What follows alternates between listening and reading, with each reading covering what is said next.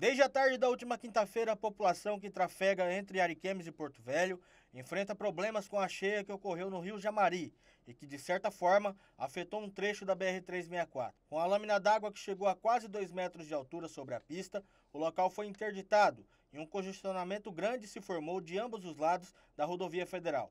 Com isso, foi necessário a Polícia Rodoviária Federal solicitar ajuda nas redes sociais para conseguir mantimentos para os caminhoneiros que estavam ilhados na BR. Com toda essa situação, foram iniciados os trabalhos de elevação da pista para que possa ser feita a liberação do trânsito. Os trabalhos estão sendo realizados pelo DENIT e o DR de Rondônia em aproximadamente 500 metros da BR-364 entre os municípios de Ariquemes e Porto Velho.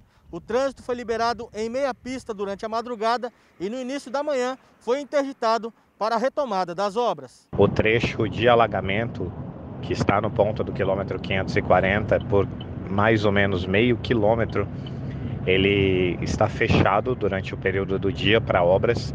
Então meia pista de alteamento já foi concluída em um trabalho do DENIT com o apoio do DR aqui de Rondônia e no período da noite e madrugada foi liberado o trânsito para desafogar a quantidade de veículos que estavam parados na região. Agora, durante o dia, as máquinas voltam a trabalhar com força total para tentar encerrar, concluir as obras que estão previstas para conclusão no final do dia de amanhã. Mas eles estão acelerando para entregar o mais rápido possível. E se não concluir hoje, no período da noite, das 22 às 6 da manhã, a meia pista que existe vai ser liberada para trânsito normalmente, novamente.